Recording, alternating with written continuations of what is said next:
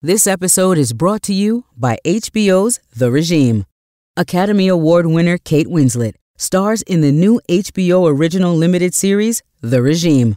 With her nation on the verge of greatness, the Chancellor, played by Winslet, becomes increasingly paranoid and delusional. She will stop at nothing to prove her worth on the world stage or end up a national disaster.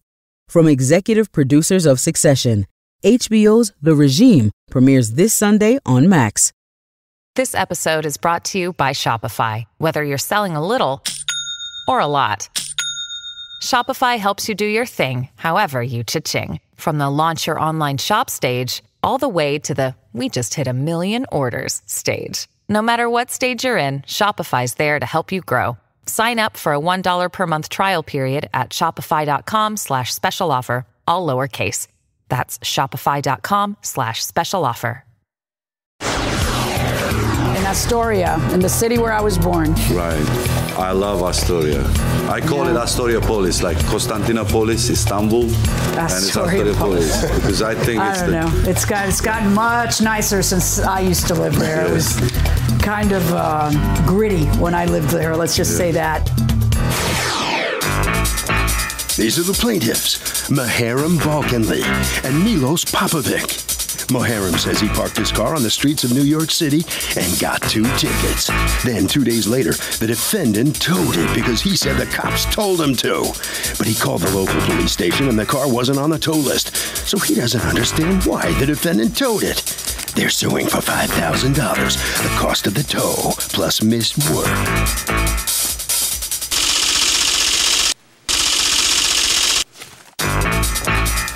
The defendant, Peter Keene. He says the plaintiff Muharrem is what he calls a gypsy. He sells cars with bogus plates off the street and then disappears. He tows a lot of these cars because the police keep an eye out for the cars, and he does what the police tell him to do. Bottom line, they had a car on the street with a for sale sign on it, had tickets on the car because they didn't pay the meter, and the cops told him to tow it. End of story. He's accused of snatching a car off the street.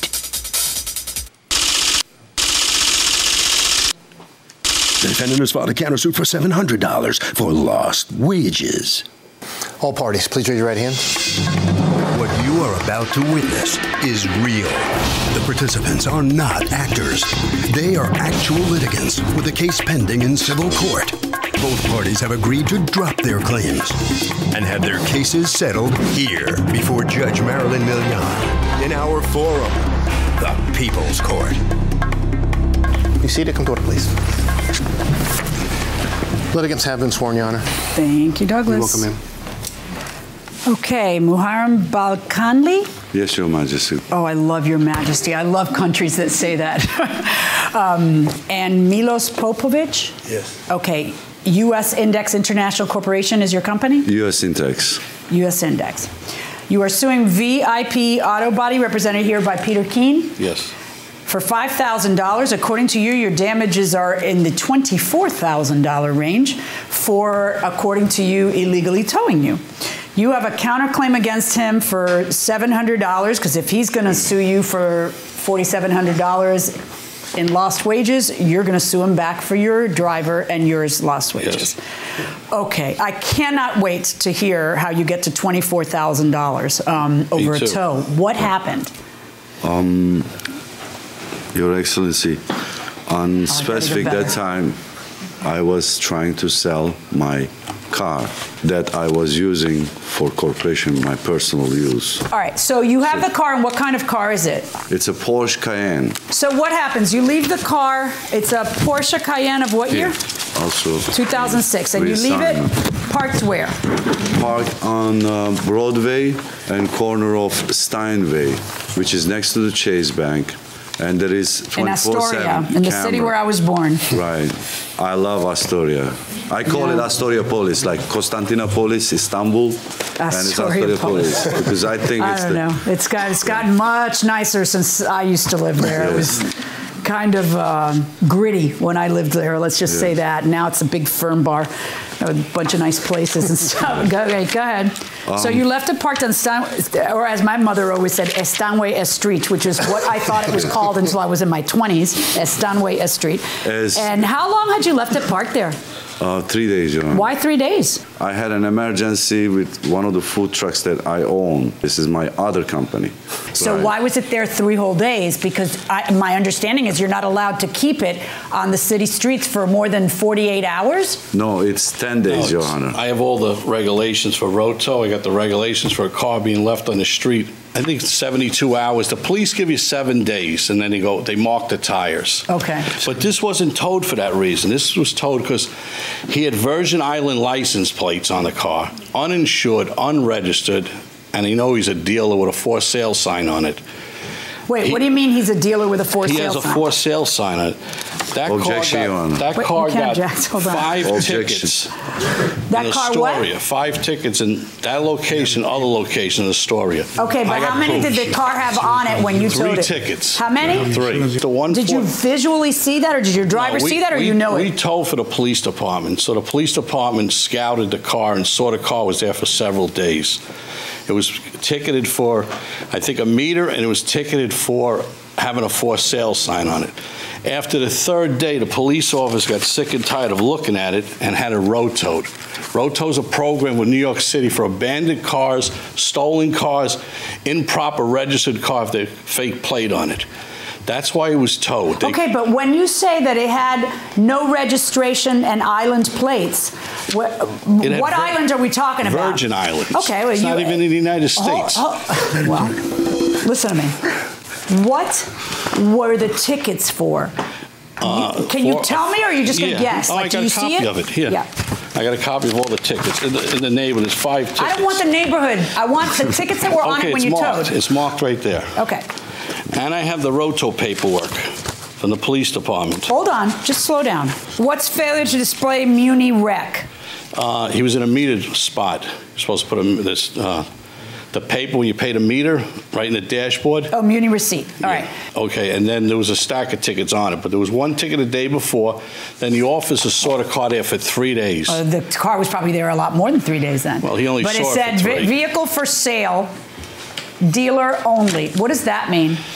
Uh, he, he has a for sale sign on it. He's- Right. what they do is we call them gypsies. What now? What? Just tell me what it means that you can't do that. If I'm That's selling a car, under hold objection. on. I saw I've just- objection. Stop. The- What is illegal? Putting a for sale sign on my car? For sale sign on a car in New York City is illegal. Uh, you can't sell a car on the street in New York City. Are you serious? Yeah, serious. Like, I can't- That's why you got a ticket for that. No, that's what's astounding me. So you can't like uh, like in Miami, people will spray paint on the back of their window. I can see that because now they can't see out and they're driving like idiots. But That's a ticket. That's a ticket just for Yeah, displaying yeah. that your car is for Yeah. sale. Uh, I have a copy of the title front and back. This was a salvage car from Texas. State Farm paid out on it. It's abandoned on the New York City street. I have a copy How of is it abandoned? Because it was there more than 48 hours? Yeah, it's not registered. It's not insured. Nothing. Fake plates on it. You have made a statement that the plates were false. Prove it. Right here.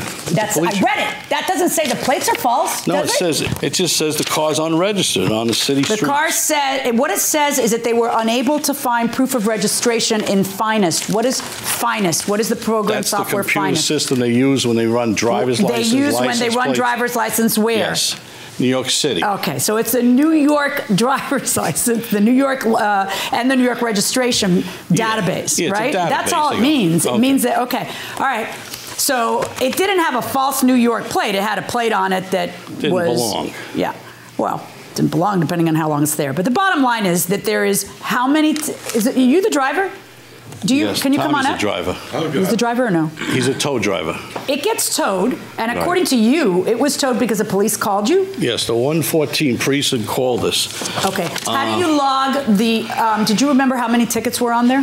No, just a bunch. That's all I saw. A bunch. How do you log or how do you record? Is there is there a, a, a method of keeping track of the police phone call? The Department of Consumer Affairs makes us put in a logbook when we get the call and when we show up on, on the scene. Then the officer meets us on the location and shows us the car to hook up. Okay, and did that happen in this case? Yes. Okay, and does the officer write anything? Yes. Let me see what the officer writes. So why are you suing him if the police decided to tow you? W- w- why is it his fault? You see, it's a personal choice, Your Honor. It's a Baqarah- personal choice whether you want to feed your children. I'm this is gonna his go- job. I Yeah. understand, Your Honor, but you know, if you make things as a Sufi, I look at the books. Baqarah 136 says, make no discrimination between books, prophet, religion, and people. Make distinction being good, all, all evil things. He had to choose. Dude, you're not even the- there.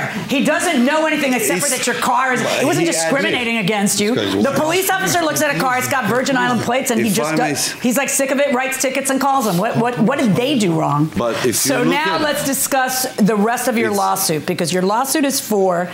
295, which is what somebody paid for the tow. Which one of you paid that? For I the tow? did pay it. All right. All right. And, uh, now, what you guys you guys think that they are a team that are selling cars? 100%. How do you know that? We call, listen, uh, You know, in the- Wait, a team that are listen, selling cars on New York City Yeah, streets? In Queens, they're having a lot of problems in the 15, the 14, the 102, the 108. We call them gypsies. They sell cars on the street. They'll sell you a car with no warranty. They're supposed to warranty. This car's a salvage car. right? No, you'll never know it's a salvage car. 'cause They'll take it and they'll register it for you, and you'll never know you bought a salvage car. The car, the car looked like a toilet bowl. I don't think you have any of it. All right, so now that's $4,700 in lost wages. How do you figure? Um, on that day, Your Honor, it's about 10:30. The car was stalled. I could not find it, and we had a meeting in Brooklyn at 1:30 with a lady who wanted to fix her bathroom, little bathroom renovation, Okay. and uh, I could not make it because I didn't have the vehicle. And previous to that, three hours, you couldn't make it to Brooklyn in some other way? I didn't because because of this police department issue, they tore my carpet truck, they tore my construction truck, they tore my food truck. Oh. They my Who's they? personal. The- him? No, or the police, police? department. Oh. Prior to that, so this was the end of the line. Punched my corporation, and I couldn't. I took to tow So truck. he has to pay you $4,700. Why? Because you didn't make it to an appointment three hours later? They, they took somebody else construction, Your Honor. If you have He all these other vehicles that the city of New York, the city of New York apparently is angry with you or they're picking on you or something. They love me. I think I have I have Italian last name and Tur- Turkish Islamic last name, and I have this officer who's chasing me for my Mont Blanc that I did not get. You know, for your what? thi- thi- this is a, some issue. Welcome back to the People's Court. Harvey Levin here. So, do you think tow truck companies are generally on the up and up, or are they a little shady when it comes to towing when they shouldn't? I think they're a little shady. What do you say? I've had a situation where my car is actually towed, and I was told that I was only going to get 300 or have to pay 300, and I ended up paying 900. Okay. What do you say? You've been sitting in the back quietly. Hi. Uh, I think so. I think it's. They're shady? Yes. Why? Uh, because I'm a girl, so they kind of easy to cheat. Because I don't know. Well, Doesn't have a knowledge. but if you're somebody like Ronda Rousey, you just put him in a headlock, right? Going inside the courtroom. They're picking on you. They're picking so, on me But you have all these other vehicles that they ended up uh, that they I ended up towing, but you had no way to get to Brooklyn in three hours. I am not and- car dealer. I didn't have no money. All right. I'm so being they owe you forty-seven hundred for that, and what else? How else do you get to that? Those Uh, the guy who bought the car uh, assumed it because he gave me partial payment a week later because they're not professional to tow European Okay, hold on one car. second. When when he gave you a partial payment, how long after the tow? A it week was later? about three, four days later. Three or four days after you re- after you got the, the car back. I sold it. You sold it. It came back to me because the transmission is damaged. Okay. Tell me what evidence do you have that the tow caused the damage? One of my f- truck, cargo truck, was towed by another company like this.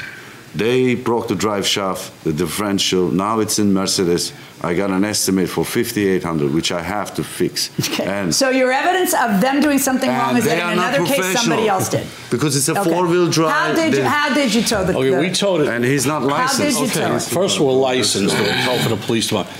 We go with a Not flag. him. license. Stop talking, gentlemen. Stop need the talking. license stop talking. Go ahead. First of all, I got 35 years experience. He has 40 years in towing. Okay. So he knows how to tow. We send the flatbed over. We have these go jacks that go under the, go under the wheels, and they go against the wheels. And your jack it lifts the car up.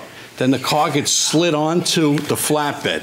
No damage. So it was flatbed. It's impossible to damage the car. And then we roll it off, we take the go jacks off. It's not impossible, but you, Well- but you, uh, okay.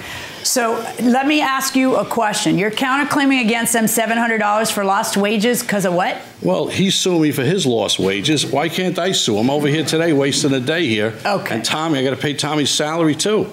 Okay, Right to get right. Tommy back on the street. All right, um, gentlemen. Uh, Do I have a question, No, I, I cannot tell you how out of gas you are on this case. You have a $295 tow that was ordered to be done Two- by the police department, and you are suing the tow company for $5,000 and claiming you're out 24,000. The tow company just does what the police say to do. Now, that doesn't mean they get to do it recklessly. If they damaged a car, you've got a case. So I need to see the evidence from an expert, not from your flapping gums, that they damaged your car in this tow. And if your evidence is, well, a tow truck once damaged a car in another tow, that's not evidence. When they're dropping, Your Honor, because Okay. of the damage Do you that have they a caused. mechanic's statement, yes or no? I will get it. It's in the- we're. I Let, got let me the introduce you. This is the black dress, this is the trial, and it's over. Verdict for the defendant. And as for your counterclaim against him, zero. It's just, you know, I know you did it just in retaliation. Thank you. Thank you, Your Honor. Oh, here he is. Uh, everybody's after you. I guess so. Okay, right next to him. But uh, you don't have any proof of this. Maybe what's going on? Um, I think I've been uh, made a space code or something, racial discrimination, whatever it is. You think that's what's going on, really? I guess so. Well, you know, in the courtroom, you have to have the evidence. You know, you can't just come in and say something. You have to prove it. I think uh, maybe I should bring a case against the uh, officer that had the car towed if I can obtain the copies, since in this court it was available, it should be given me also. Uh huh. All right, so you're not done with this case yet. You're Right, gonna, you're gonna keep fighting this thing. Oh, I think so. Keep fighting. Okay. Yeah. All in favor, head that way. Right, thank you. All right, thank you very much. Thank you. All right, step on in here. Tommy, you come on in too, all right? All right, so it happen all the time here? Or? You know, we come across these guys. They're gypsies. They're selling cars on the street. He was trying to sell me the car when he came to my shop. He said he'd give it to me for ten thousand. So why, you know, you, so that's not legal, right? Would he, that offer to you to buy the car like No, it's not wasn't legal. It's not legal, but the car looks like a toilet bowl. It's a rat. I don't want to buy that. Uh-huh. All right. Anything, Tommy? What do you got to say? Nah, we won. That's all that matters. Harvey? Okay, Curt, here's the deal. The defendant has the cover of the police authorizing the tow. If that happens, they're playing by the book. They can easily rely on the law. Now, we'll do it for this case. Litigants for the next case on the way into the courtroom right now. This episode is brought to you by HBO's The Regime. Academy Award winner Kate Winslet stars in the new HBO original limited series, The Regime. With her nation on the verge of greatness, the Chancellor, played by Winslet, becomes increasingly paranoid and delusional. She will stop at nothing to prove her worth on the world stage or end up a national disaster. From executive producers of Succession, HBO's The Regime premieres this Sunday on Max. This is the plaintiff, Tia Binns. She says she loaned her son, the defendant, money in 2011. And unfortunately, he has no respect for his mother, and she can't get him to pay her back. He has since blocked her number from his phone in an attempt to run away from his financial obligations. She is fed up with him and is suing him here and now for every penny of the $400 her son still owes her.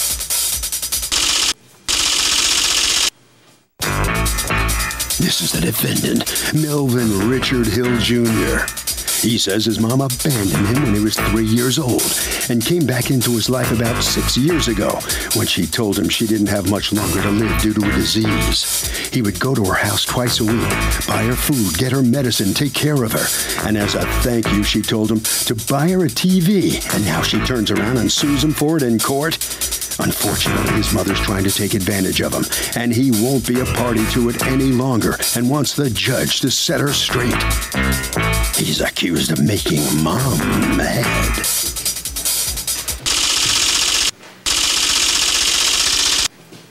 All parties, please raise your right hands. Welcome back to the People's Court. Next case on the docket. The plaintiff says her son's a deadbeat who borrowed money in 2011 and snubbed her. But the defendant says he did a lot for his mom, and this was a gift. It's the case of family matters, but not when it comes to Litigants have been sworn, Your Honor. Thank you, You're Douglas. welcome. Tia Binns? Yes, ma'am. You are suing Melvin Richard Hill Jr., your son, for $400 that you say he still owes you, the balance of a loan that he hasn't fully repaid, correct? Exactly. Tell me what's going on. Okay. Uh, I haven't seen him since Thanksgiving. I miss him and love him so much, but he got to the point he was borrowing money from me, and it got to the point it was so high. I went ahead and had him sign a promissory note that he would pay me back at some given time, and he hasn't done. He paid everything but uh, four hundred and twenty dollars. How how high did it get? It was six hundred and twenty. So when did you loan him that money? Throughout Okay. different times? Yeah, up all the way up to when he signed this. It was on February 2011. D- uh, How long had it been before that that you hadn't seen your son? Oh, it's been about 10, 15 years. Well, he came down. He was nice enough to come down when I had uh, surgery. I had to have a tumor removed. So he came down and bought my mom. And they were there when I had surgery. Did you raise him? No, not really. Who raised him? His father. And were you around or no? No, I was in another state. Doing what? I was married to another person. His father got custody of my kids. How did he get custody? He just took them and wouldn't let me have them back, and I didn't have. I went to court to try to fight it, and I didn't have a good enough reason, so he was allowed to keep them. All right, so you reconnect. When you say you haven't seen him since Thanksgiving, Thanksgiving last year. Uh, why haven't you seen him? He he started a new job. He was working at the post office. He hadn't gotten completely set with that yet, and he was working at Wendy's, I believe it was.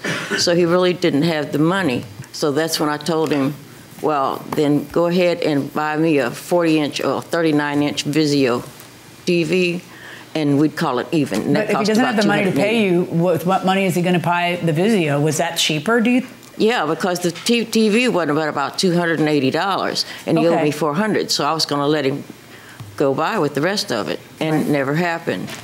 Okay. Was any of this by text or by email? I have one text from him where he said that he couldn't pay me this weekend, but he would pay me the next weekend. Let's would see you it. like to see that? I, d- I do. Uh, Mr. Hill, what's going on? My mom, like she said, left when I was three. Uh, I went down to stay with her down south in Texas uh, when I was 15. Uh, Did you Well- see her between 3 and 15? no, At all? uh, no, not at all. Uh, did you hear a different story than the one that she said? Um, In other words, did you hear a different story than the one that she said, which is she went to court, she fought, but the custody was given to your dad? I've never even heard any of that story. We've never so- discussed it with Yeah, our kids. I've never heard anything about that. Well, it's kind of the first thing I would discuss at 15 to figure out, or, or once I became a man, is say, hey, where you been? Well, yeah. What happened? Where you been? Wow. Okay, so go ahead. I went to school down there, and I was looking for a change of scenery from where So I was. So you were just to. happy to be there. Yeah, actually, I was. So, Okay. um, anyways, uh, time goes by. I move back up here. Um, things happen to her in Atlanta where she gets cancer and supposed to have a few months to live. We go down to pick her up. I'm spending two days a week with her, if not more.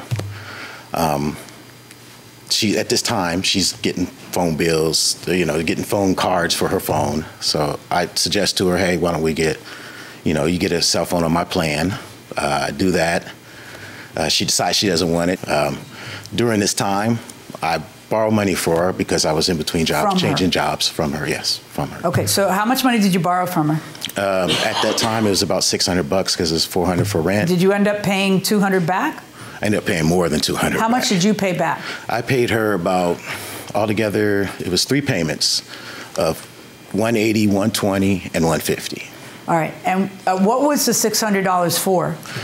400 was was for rent, and the rest was for the phone bill. There's probably like $30 left. And according to you, that's your joint phone bill with her? it was Because she was supposed to have kept that phone and you were still getting charged. correct. were you charged the following month?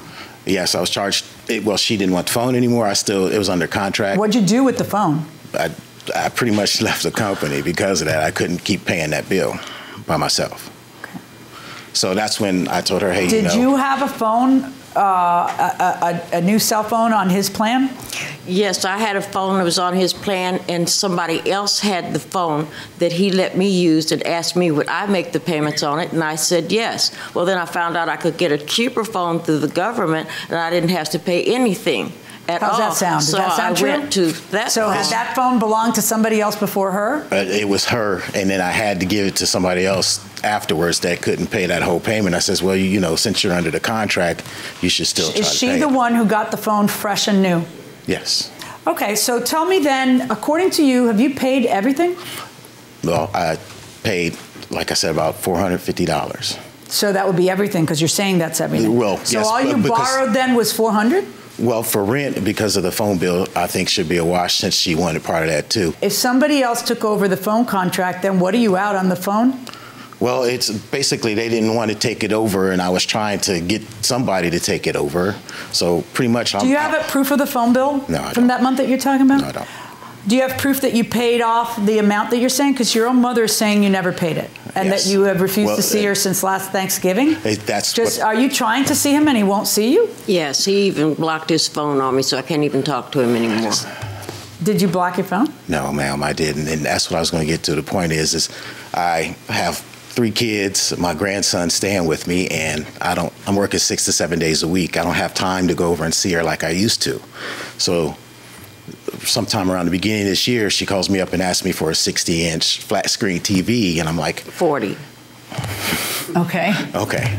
So I couldn't get it for her. So I was like, you know, I can't do this. So the next phone call I get from her is like, well, I found this thing where you owe me some money. What you can do is get this TV for me instead of paying me this money. I was like, well, I don't owe you any money. She goes, well, we can just call it a wash if you get the TV. So I said, you know, I'm thinking I'll get her a TV maybe for her birthday or for Christmas or something. A couple months after that, she got the TV somehow, I don't know. So she's calling me up to ask me for 400 bucks. Where the 400 came from, I don't know. So when one parent is out of the picture for years when a kid's growing up, can the kid as an adult ever have a good relationship with that parent? What do you think? Back. I think that you won't get the time back, but I think you can develop a good relationship if you decide to come back and genuinely be a part of the child's life. So you think it can happen? By the way, where are you from? North Carolina. All right. Okay, okay, good. What do you think? I'm going to go over here. What do you think? I don't think you can because they missed out on a lot of like time with bonding and stuff like that. So I don't think. So resentfulness is inevitable. Yes. okay. Fair enough. Going inside the courtroom. But how come you haven't spoken since last Thanksgiving? What happened with Christmas? Were you both in the same city? He said he didn't have time or the money because he wasn't working at the post office yet. He was only working at Wendy's, as far as I knew. And I think his wife was out of a job, so they just didn't have the money to come. The promissory note that you found was authored when? What year? 2011? 2000, yes, ma'am. Because that's five years ago. Yes, ma'am. Why, in the last five years, has this issue not come up? Have you not? You're within the statute of limitations because it's six years. But how is it that if he owes you this money, um, and not oh you found it in a drawer from back then, like how is it that the issue hadn't come up? How how, how is it that you hadn't sued him? because I wasn't here and we didn't associate or anything at that time while I was gone. Hardly I talked Yeah, to but him yeah, but now what, and then. then why sue now? Five years after you, you know the, the Because I saw that the date was going out, just like you said, ma'am. I thought it was 5 You're years. on. You're on it. How did you research what the statute of limitations was? I didn't have to research it. I just watched you on television. There you go. it's different everywhere for different things, though. Yes, ma'am. I can't. A little part of me can't help but feel that the reason that you're here is to have an opportunity to see your son again. That's one. Wow. Okay. Based on what I'm listening to, even though there's a promissory note, the date on that promissory note is so long ago. I'm, I'm kind of curious. Bring me this text again. It won't be this weekend, possibly next weekend. That is supposed to tell me that he's going to pay the That's money? what he said, yes. Okay, but you know that's not what this says. What this says is it won't be this weekend, possibly next weekend. Right, weekend. 'cause I it could be he's going to visit you. It could be anything. Okay, but it was about the money. Do you have any texts that actually talk about the money any time in the last five years? I'm sorry. My verdict in this case is for the defendant. There's a lot you. That it sounds like there's a lot you have to forgive her for, from the early days. And then it sounds like you did. And then here in the twilight of things, when we're supposed to really just be more forgiving, you've kind of just, you know, you're done with it. I just ask you, as an adult child of aging parents, ask yourself whether there is anything about that that you may end up regretting. Um, because it is very obvious from the notes that she writes you even now when she's suing you that she wants your love, not just your TV. You know what I mean? Good luck to you guys. Thank Thank you. you. I hope things work out. You have my phone? Okay, thank Well, so the plaintiff's the first one out here into the hallway. Mom, here, just Yes. turn this way. And how are you feeling about the case now? Oh, it's okay. At least I got to see my son. He's standing right there. Yeah. He's standing right there. And I just hope that maybe we can be closer now. I love that. She's talking to you. Yeah, baby. Can I have a hug, please? I love you, sweetheart. Thank you. Oh. Thank you so much. You all right? Mhm. You okay? Yeah. All right. Thanks. Can we go out and eat now? All right, Harvey. You know, ultimately, this is a successful small claims court case when two people, you know, who are in conflict, when their family members can actually work things out the way this happened. Got to tell you one thing legally: the longer you wait to um, go to court and say somebody owes me money, the weaker your case becomes. It just stands to reason. The longer you wait, the weaker and the shadier the case looks. And that will do it for this case. Litigants for the next case on the way into the courtroom right now. This is the plaintiff, Anna. She says she hired the defendant to replace a slab of concrete by her garage, and a few months after the job was completed, started cracking. Now it's crumbling away. The defendant used a bad batch of concrete, and it looks worse now than it did before he replaced the original concrete, which was over 25 years old. She wants her money back. The defendant's ignoring her. That's why she's suing for the $2,000 she originally paid him.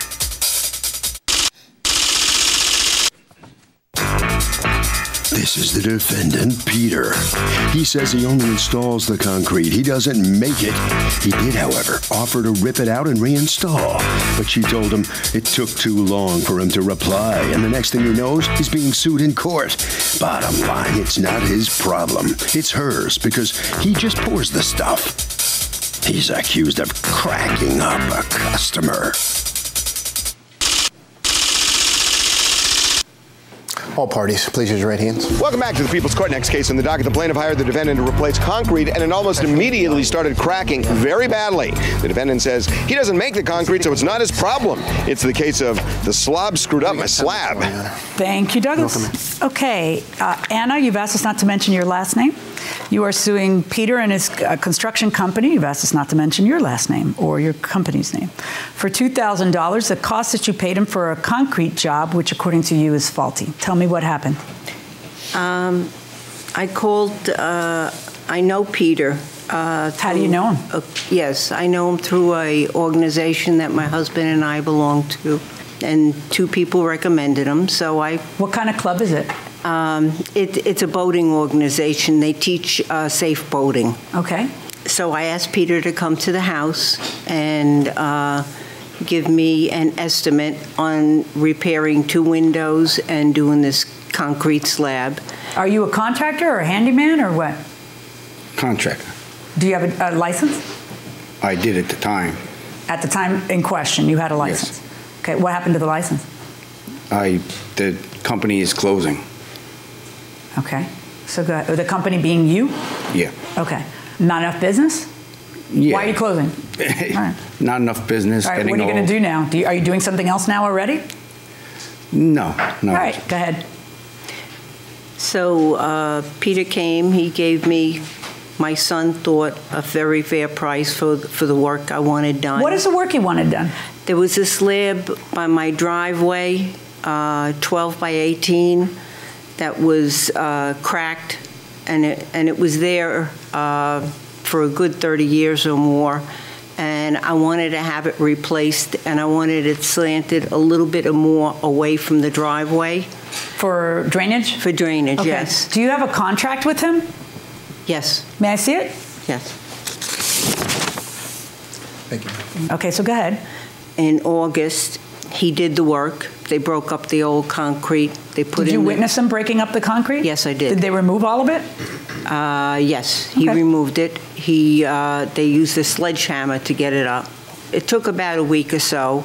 By the time he, you know, they broke Okay, so it he pours concrete in there, and when you first look at it, it looks good, It, it right? looked wonderful. It looked All right, very when nice. When did it stop looking good? Uh, well, I got sick the next month, and I was unable to go outside for quite a while uh, because I had to go under treatment and stuff. I'm sorry to hear that. How are you now? Uh, I got to knock on wood. I'm doing good, thank you.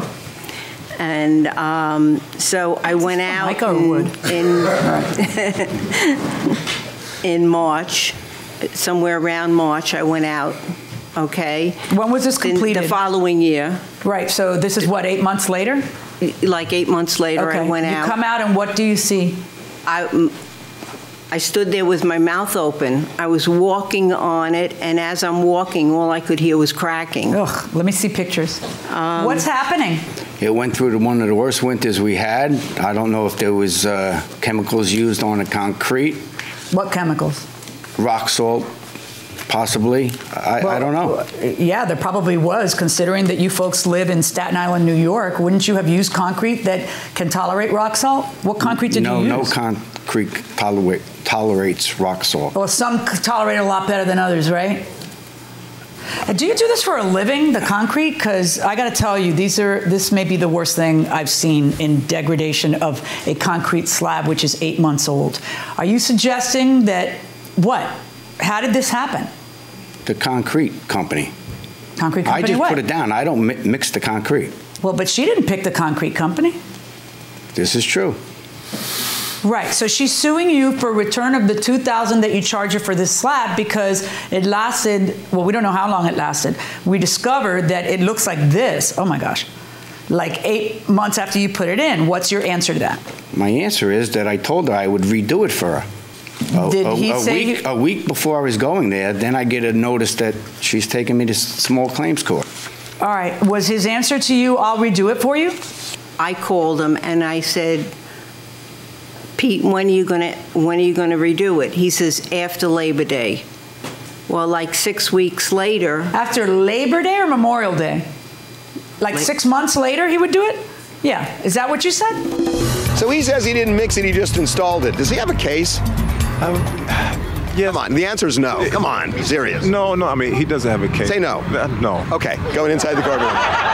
Why would she wait six months? What kind of contractor are you? What kind of? how- Why would you wait? Why would you think that somebody who paid you two grand for this and gets this and calls you about it and you, you, one would think that you would feel bad and say, "Oh my goodness, I can't believe that. Let me get out there and fix it right away."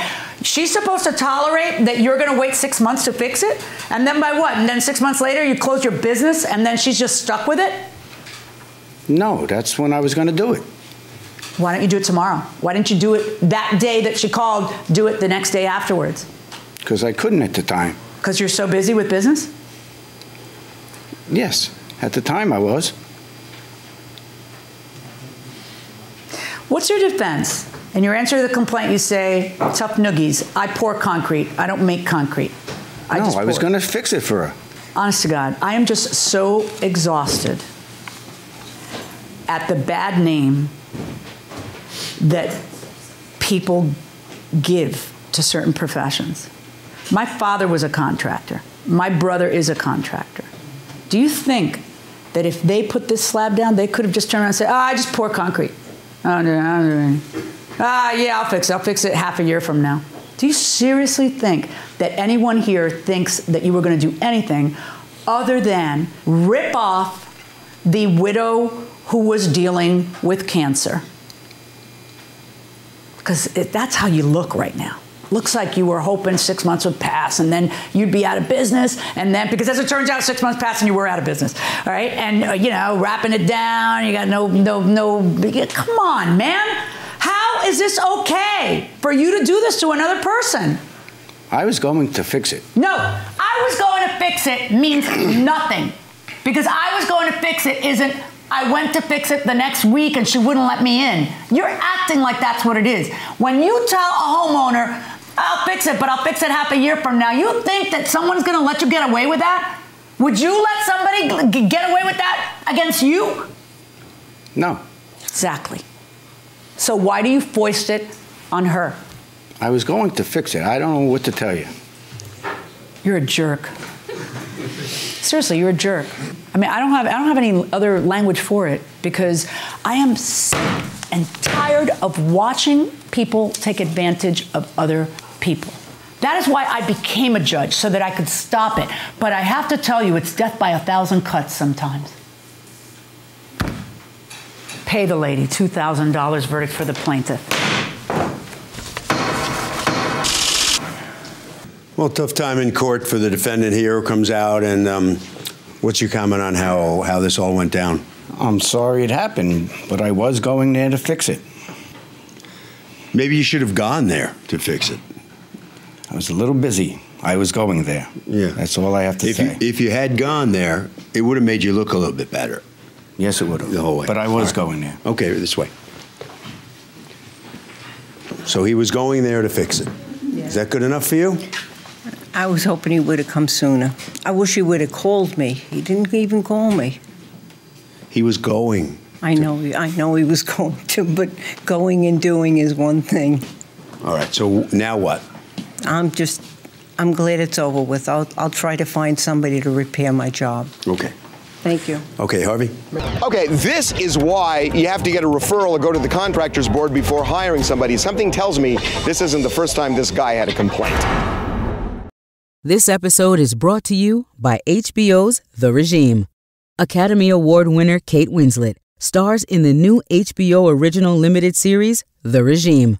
With her nation on the verge of greatness, the Chancellor, played by Winslet, becomes increasingly paranoid and delusional. She will stop at nothing to prove her worth on the world stage or end up a national disaster. From executive producers of Succession, HBO's The Regime premieres this Sunday on Max.